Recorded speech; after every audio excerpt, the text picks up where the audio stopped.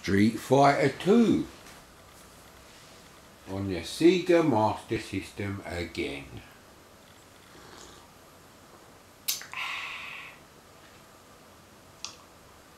Nineteen ninety seven. Uh, that's a bit late for the uh, the idiotic Street Fighter Two craze. But uh, yes, let's just uh, start the game.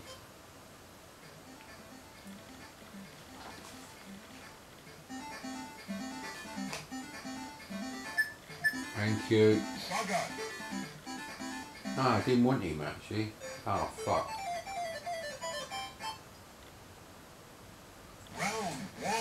Well, at least we test the uh, sprite size well.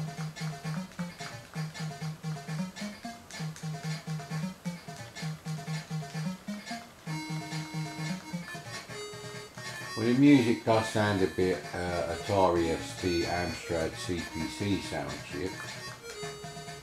Yamaha YM2149 or AY8192.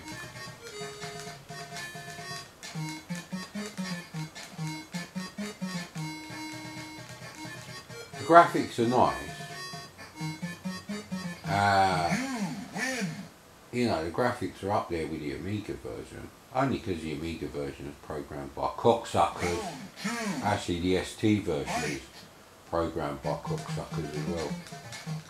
The ST could do a much better version of Street Fighter than what was released. Street Fighter 2, I'm talking about now. Um,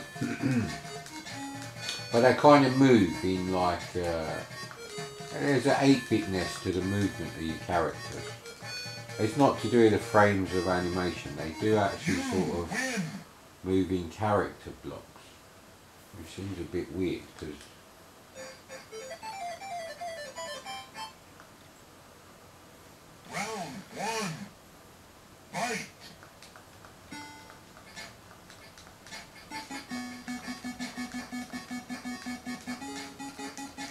Pressing both buttons does anything interesting? Not really. Bloody hell, where's the rest of the ship? With all the people on? So they've taken some liberties there. Uh, but you know, it doesn't really change the game at all. Well, you know what I'm going to say? If I had a Sega Master System in 1989, just before the Mega Drive came out, I would have been happy anyway. But I would have later on seen that there's some horrendous games on the ST and Amiga, real shit arcade conversions. And, uh, you know, this really shows how much effort the console manufacturers put into their conversion. Now this is probably a Brazil only sort of thing, I know that.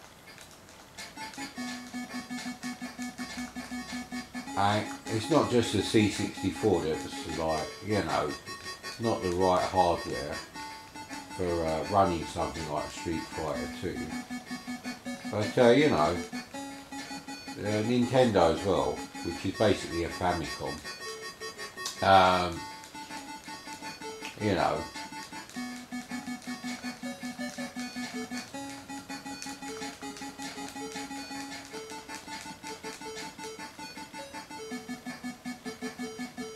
so hmm, I mean, if games like this were coming out for the uh, SMS, and they still have the uh, card slot so you could have the cheaper games although I don't think a game like this would fit on the card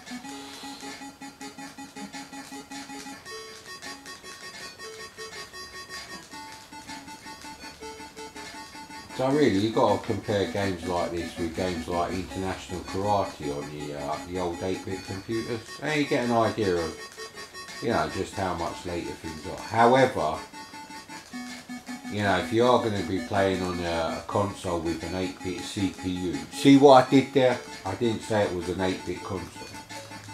Uh, you want to be playing Street Fighter 2 on the uh, PC engine. Which is better actually than the SNES version. I don't care what you say. And but really, you want to be playing it on the Mega Drive.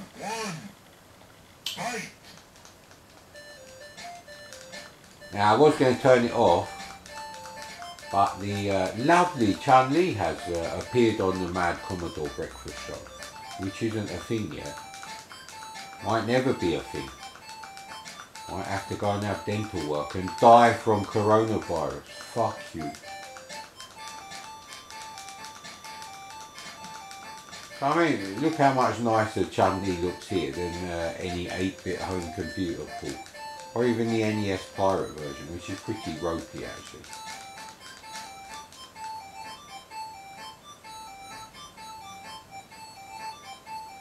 You win. You win! If you uh, didn't have to rely on US Gold to give you shit arcade conversions.